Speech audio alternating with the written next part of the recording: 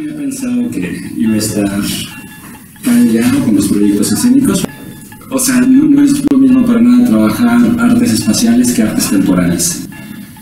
Porque te das cuenta de las posibilidades que hay en la plástica y puedes ver que incluso, o sea, creo yo creo que la danza es plástica. ¿no? Y creo que esta obra en especial tiene muchos elementos plásticos, hay movimiento de la plástica y creo que eso es muy importante.